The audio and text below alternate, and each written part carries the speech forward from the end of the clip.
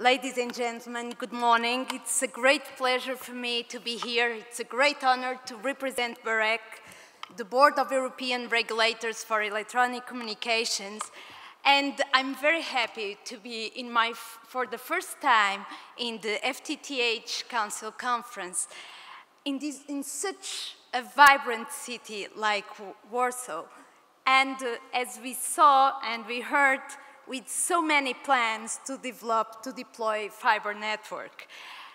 And as chair of BEREC, I'd like to start by reflecting and ask you to reflect with me about the challenges we have for the next five years. I want to think about the future. And I want to tell you how at BEREC we are working towards a future-proof regulation. If we think about the future of the electronic communication sector, the first thing we should do is to wear what I could call some broadband glasses. I mean, we need to look at the sector from several perspectives. Because we are living in a high-speed changing world and as regulators, we have the obligation to look ahead, to make a forecast about our role in the future. We need to find the most efficient, proportionate, and least intrusive regulatory approaches. As you know, regulators are blamed by the sector, by stakeholders that say that we are very conservative, that we don't look sufficiently ahead. So I want to tell you that we want to change our reputation.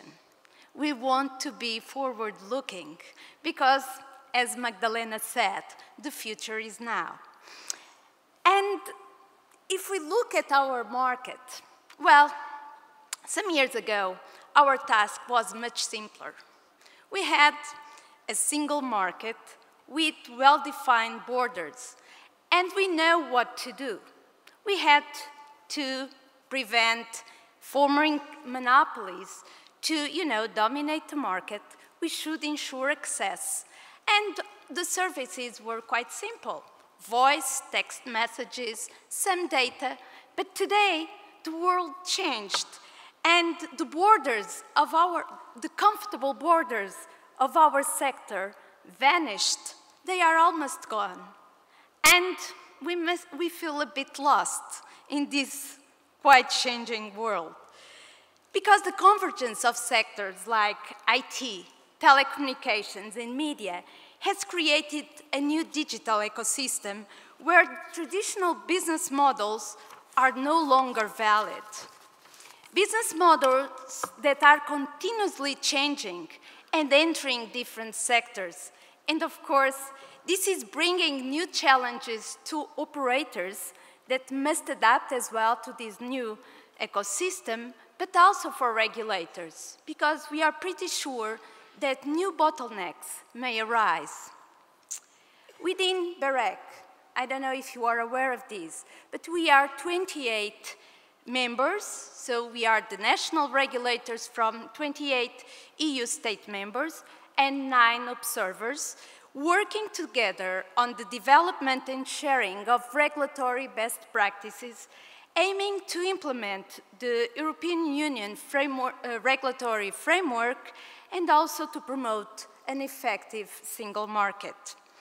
One of our main tasks is to advise and assist the European Commission in the, in the development of internal market as we have been doing recently in, our, in areas like roaming, net neutrality, currently under discussion in the context of the Connected Continent regulation. Because we also serve as a body for reflection, debate, and device for the European Parliament, the Commission, and the European Council in the field of electronic communications, BEREC feels that must take the lead and pave the way for the discussion on the required regulation for the next five years. So let's look at some key issues while looking forward. When we talk about technology, market trends, and the future challenges for regulators, the so-called OTTs come to our minds. By the way, let me tell you that at BEREC, we decided that OTTs don't exist anymore. We will call them CAPs, Content and Applications Providers, because this is what they really are. And CAPs are part of the ecosystem, and they are part of the challenge for operators in the sector and also for regulators. But we need to think broader. We need to consider the explosion of machine-to-machine, the Internet of Things, and the Internet of Everything.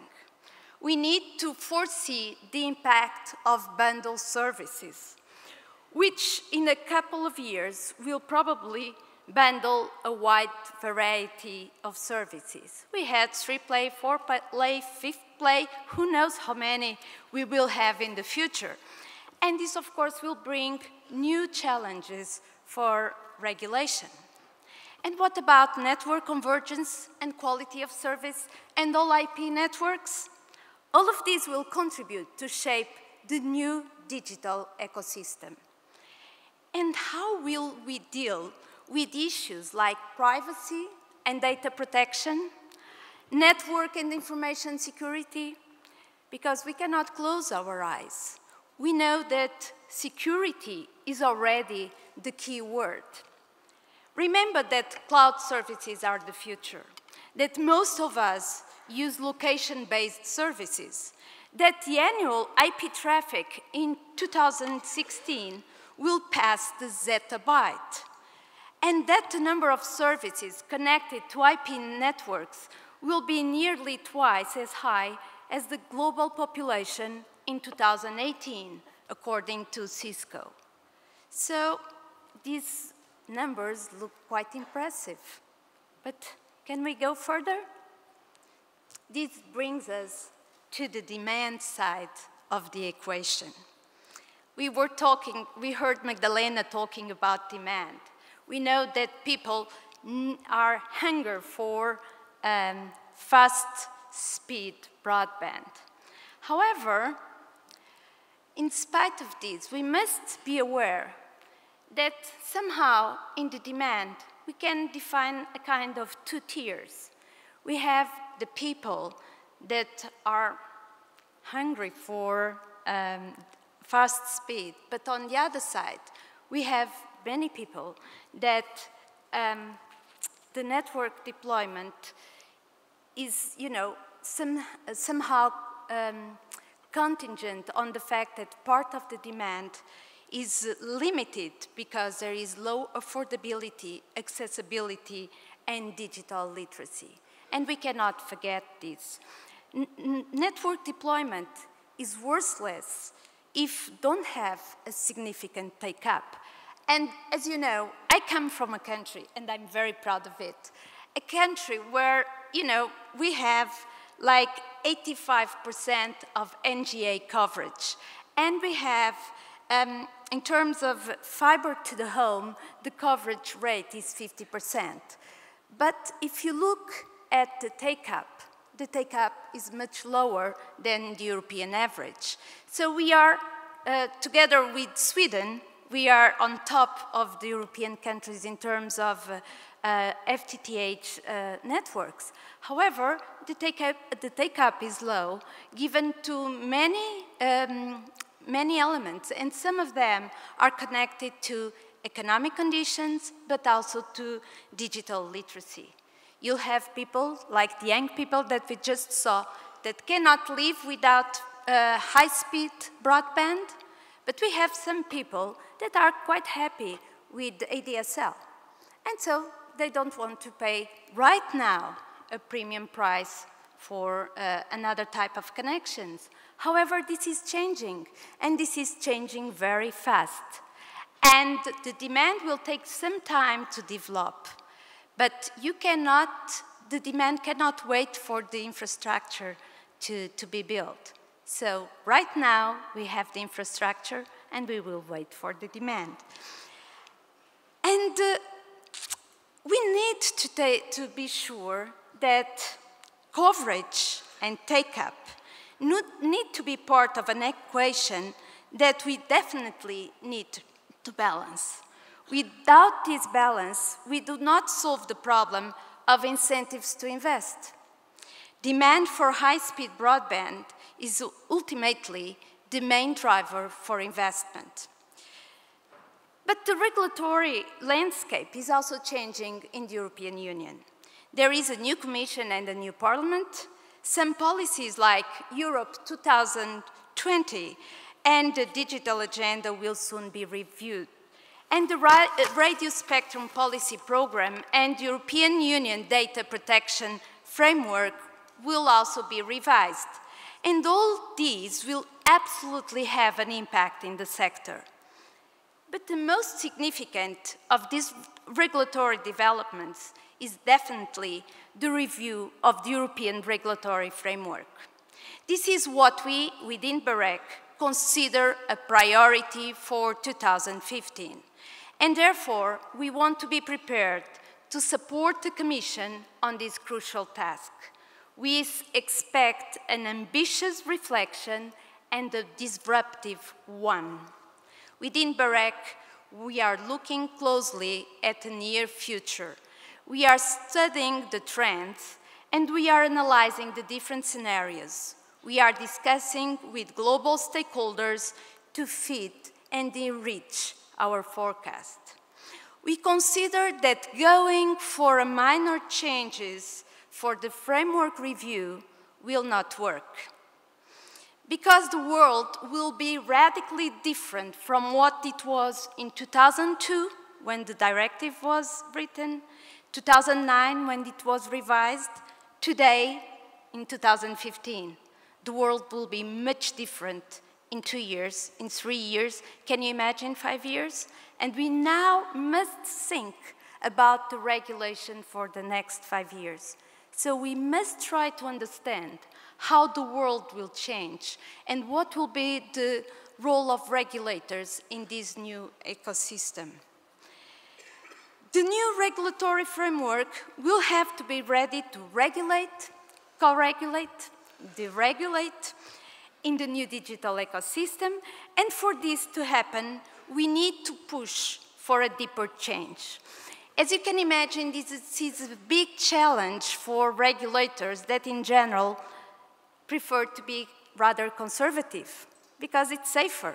We know our space, our little world, and now we must challenge ourselves to uh, be forward-looking and try to, you know, to see what is the regulation that we will need in the future and not just to try to adapt the current regulation for the future. In short, BEREC's strategy for the next three years aims at taking full account of these technological and market trends, as well as the coming regulatory landscape. We are in a turning point, and it's absolutely necessary for BEREC to foresee the evolution of the, uh, of the ecosystem in the coming years. One of the BEREC's strategic pillars is to promote effective competition. And we cannot forget this. Why? Because in doing so, we are promoting efficient investment and innovation in new and enhanced infrastructures and services. Our understanding is that effective and sustainable competition is what drives efficient investment and not the other way around.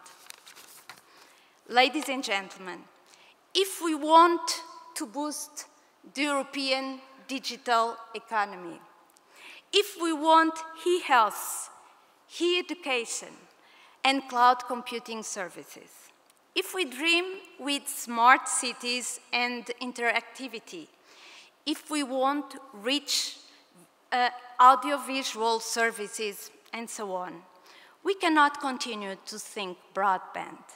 What we do need is to focus on the deployment and take-up of fast and ultra-fast broadband.